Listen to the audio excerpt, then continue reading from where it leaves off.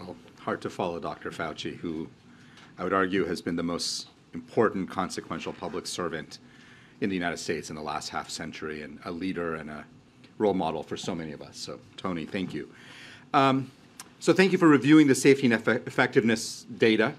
I will tell you, it is remarkable to me what data have come in in the last month. Um, I was here in front of all of you a couple of months ago talking about what we expected. All of the evidence that has come in in the last month has far exceeded our expectations on the efficacy of these vaccines. And the safety data has continues to be terrific. Today, I want to focus on a new six week sprint that the administration is announcing to get more Americans their updated shots before the cold and winter season really settles in. Now, I want to start off by saying we are heartened to say that we are not alone in this effort.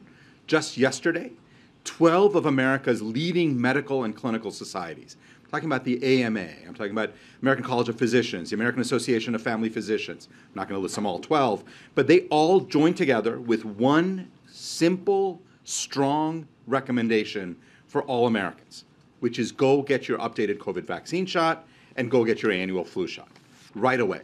Now, why did they do that? Why did America's physicians, speaking as a unified voice, say that?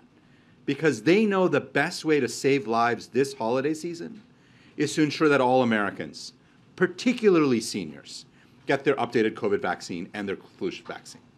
Now, we've already had 35 million Americans have gotten their updated COVID vaccine, including 16 million seniors. And we are encouraged by steady and strong week by week numbers. We're seeing about 4 to 5 million Americans getting it every week. But we are working hard to reach even more Americans, especially older, more vulnerable Americans. So, as I said, today we're launching a six week sprint to help Americans get their updated shot by the end of the year.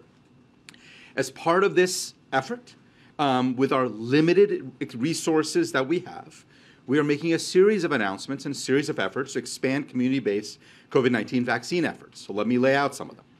We're announcing $350 million in funding to help community health centers meet people where they are with facts, with vaccines, through proven methods like partnerships with faith based groups and mobile vaccine clinics.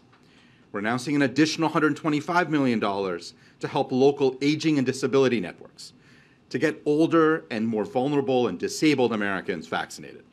This will include efforts at senior centers across our great country.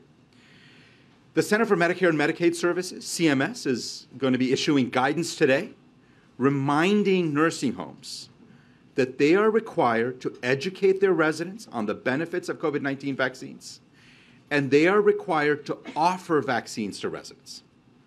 And nursing homes that don't do these very basic things will be referred for greater oversight and possibly face enforcement actions. We're doubling down on our trusted messengers work because we know that makes a difference. We're working with national and local organizations, state and public health departments, pharmacies. You're going to hear schools and colleges and universities announce that they're hosting clinics. All of this we think is going to make a difference. Also, what will make a difference is more paid media efforts by the Department of Health and Human Services, designed to reach tens of millions of Americans, for instance, that are watching the World Cup through, the, through television and through digital ads. Bottom line, is that we're doing everything we can in the next six weeks to help families get their updated COVID shots by the end of the year because it's the best protection for this winter. And remember, for a majority of Americans, this is going to be a once a year shot. One COVID shot once a year, just like the flu shot.